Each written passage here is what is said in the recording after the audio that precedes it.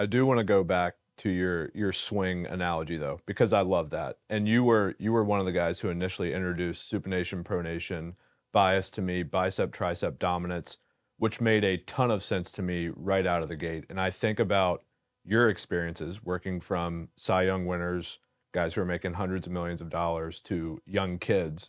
And this is something we've talked about in some data videos, but looking at natural force application to the ball and designing the arsenal off of that, off of what the guy is good at. And we know like carry became very popular. Coaches were kind of forcing that, altering mechanics. And I think your analogy there is great. But if you could just talk about what you've seen based on those biases from young kids all the way through the big leagues. Parents look at me funny when I'm working with an 11 or 12 year old and I tell them, like, all right, let's scrap your changeup. Like, we're going to go two breaking balls. And I think that's what you're ultimately going to be. And like, they just give me this crazy look. Um, but then I go, okay, you know, what does Justin Verlander throw? What does Clayton Kershaw throw? What does Gerrit Cole throw? What does Shane Bieber throw? And you start breaking out all the guys that don't throw a changeup. and they're Cy Young caliber pitchers, and it, it forces the parent to do a double take. Like, well, I guess those guys are pretty good, and they don't throw a changeup.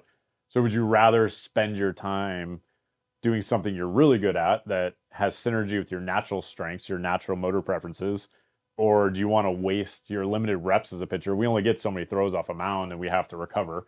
We're not like hitters where we can just take hundreds of swings every day.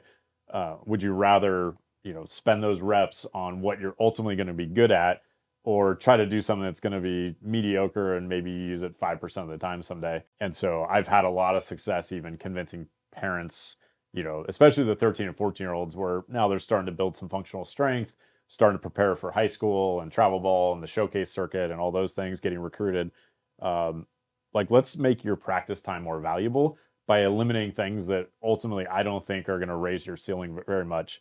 Let's actually find out the the things that are going to raise your ceiling and make you a better player and you know you're, you're investing in yourself. Those practice sessions are going to compound over time. Um, and so it, it's it's super fun to see the reaction and it, you actually see a sigh of relief in the player because he'll try to throw a changeup and he he can't do it. And he knows it. And he he actually starts dreading having to practice it versus you tell him you know to throw a cutter and a curveball and all of a sudden he's just ripping them off and all of a sudden pitching is more fun. So I, I, I try to play off that and just my experience over the years is like let's just go with what they do naturally and let's not try to fight it just because some pitchers have a great changeup doesn't mean you have to have a great changeup. Would you be able to, for people who aren't familiar with the supination pronation bias, like uh, explain that idea and how would someone watching this like be able to tell which group they kind of fall into? Is that just experimenting with breaking balls, changeups, and seeing what they feel more comfortable with, or do you have a specific way that you look to see kind of what bias they naturally have in terms of how they apply force to the ball? Probably the easiest way is um, when you throw a breaking ball, can you create horizontal sweep on it?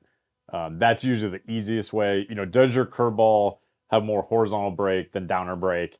Um, is it easier to throw two different breaking ball shapes or more? You know, you get into the Musgroves and the Bauers and the Walker Buehlers, they throw tons of shapes. Um, generally, if you can create big arm side movement and very small cutterish breaking ball movement, you're more pronation bias. And then if you can create multiple breaking ball shapes, uh, especially if you can sweep the ball to your glove side horizontally, much more supination bias. And, and that's a really quick litmus test on, on what you are. Uh, there are guys that are more neutral in nature. I mean, there is a whole spectrum, uh, but a lot of guys are are really extreme in one or the other.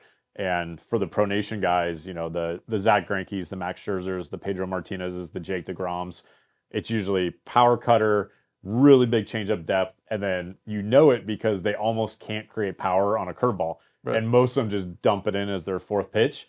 And that's a really good clue that they like to create extension, tricep dominance, pronation bias, however you want to describe it. And then something that where they have to bring it in uh, almost centripetal force, bicep dominance, shorten the radius, however you want to describe it. Uh, they can't create power that way because that's not their motor preference.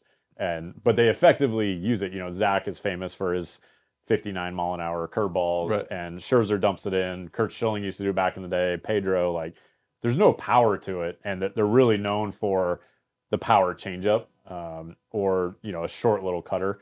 Uh, but it's just it's just finding that synergy and just rolling with it as opposed to fighting it for a really long time and ultimately delaying getting the most out of your career.